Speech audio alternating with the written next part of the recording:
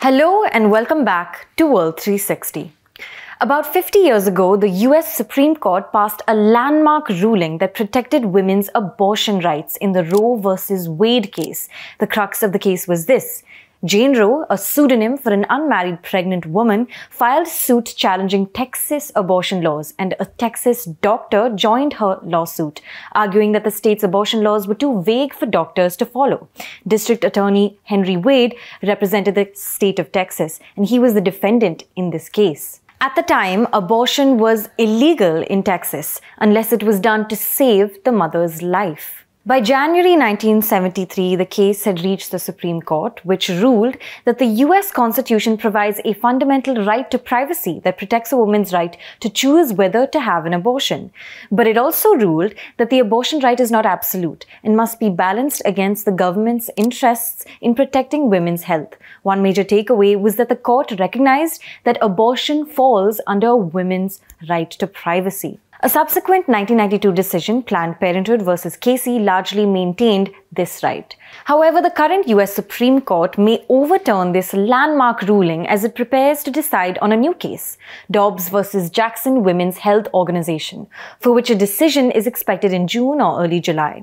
Now, this pending case deals with the constitutionality of a 2018 Mississippi state law that banned abortion operations after the first 15 weeks of pregnancy. Now, a recent draft opinion leak from the US Supreme Court obtained by Politico reveals that the top court is keen to overturn this. The leaked document, written by Justice Samuel Alito, reads we hold that Roe and Casey must be overruled. It is time to heed the Constitution and return the issue of abortion to the people's elected representatives. What's important to remember is that this is just a draft opinion and it is not legally binding as yet. An opinion of the court is not exactly a decision by the court. An opinion of the court refers to the court's judgment and its reasoning. A draft opinion is circulated for the reaction of colleagues in the court. It's also important to remember that the current US Supreme Court of nine judges has a conservative majority of six is three. Supporters of the Roe versus Wade verdict have said it has played a critical role in preserving women's rights and freedoms. In fact, some have pointed out that abortion rates have been found to be about the same rate per capita over time, whether legal or banned. But what does change when you make it illegal is how many women seeking abortion can die from it. Fearing that the Supreme Court could overturn this decision, which would make abortion essentially illegal in many states, some Democrat leaders have suggested the US Congress pass legislation that codifies Roe versus Wade as the law of the land. However, the Supreme Court's decision in 1973 has also been criticized in many ways. First, there are many who believe the Supreme Court exercised judicial activism, meaning the judges based their decision on personal views rather than existing law. Also, the decision to include women's abortion rights specifically under right to privacy has also received scrutiny.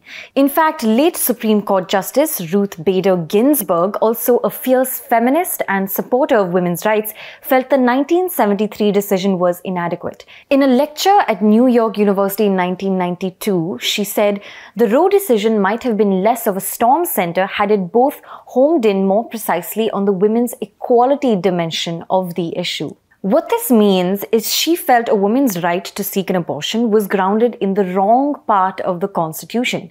She felt it should have been grounded in the tenet of equality, and that restricting abortion should have been viewed as a restriction of gender equality.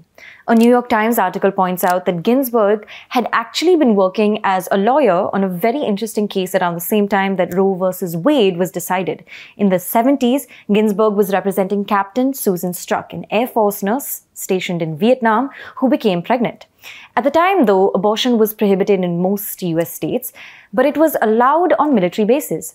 And Struck was given the choice to have an abortion or leave the military. When the Supreme Court agreed to hear the case, the Air Force changed its policy and let Captain Struck have her child and keep her job. However, Ginsburg believed that the Struck case would have provided a stronger foundation for a woman's right to choose to have an abortion, noted the New York Times report.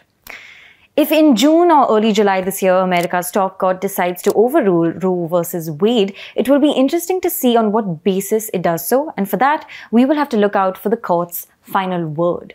Thanks for watching. This is Pia Krishnankutty for The Print. Do subscribe to The Print Print.in and follow us on social media.